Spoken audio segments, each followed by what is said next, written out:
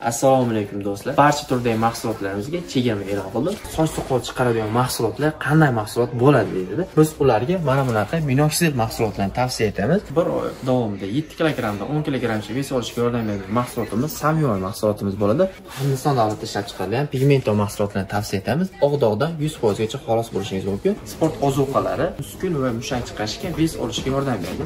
Bizda mana bunaqa ozdiruvchi mahsulotlarimiz. Gijja qurtini davolashga mana bunaqa misr davlat ishlab chiqarilgan erkaklarda jinsiy aloqa vaqtini cho'zib beradigan tabletkalar sof savdo internet magazining do'konlariga tashrif buyuring. Moskvada metro avtozavodskaya sankt peterburgda seminar plaj через pochta orqali ham yetkazib beradi. Assalomu alaykum aziz muxlis. Rossiya afrikaning olti davlatiga ikki yuz ming tonna donni tekinga yetkazib berganini e'lon qildi. Rossiya afrikaning olti davlatiga ikki yuz ming tonna bug'doyni gumanitar yordam sifatida yetkazib berdi. Bu haqida rossiya qishloq xo'jaligi vaziri dmitriy patrushev prezident vladimir putin bilan uchrashuvda ma'lum qildi.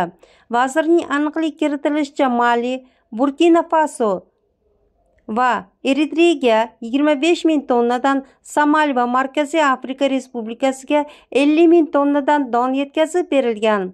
Qishloq xo'jaligi vazirligi birlashgan don kompaniyasi bilan birgalikda tashqi ishlar vazirligi va transport vazirligining yordami bilan afrika qit'asining oltita eng qashshoq davlatiga bug'doy yetkazib berdi deydi patrushev.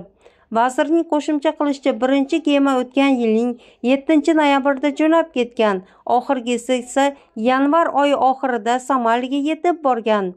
Har bir kemaning manzilga yetib borish uchun o'rtacha hisobda taxminan o'ttiz qirq kun vaqt ketgan.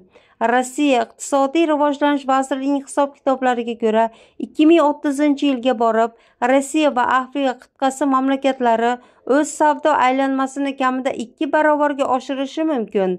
Rasmiy moskvaning rejasiga ko'ra olti yil ichida bu ko'rsatkich o'ttiz olti milliard dollarga yetishi kerak.